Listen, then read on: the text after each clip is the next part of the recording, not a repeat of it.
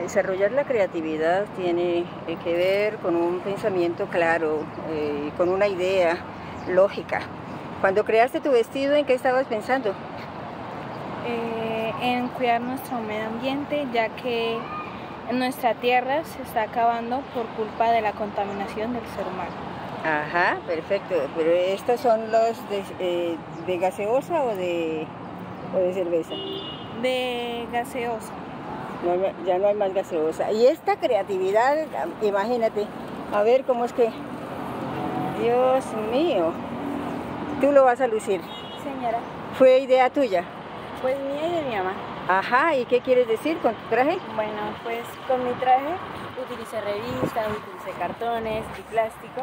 Y sinceramente quiero invitar a todos a reciclar porque en parte es como darle una segunda vía a los materiales que ya no vamos a usar, al cartón, a las botellas, a todo.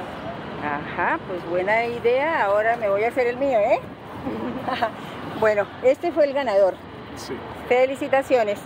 Gracias. Caras radiantes en acción.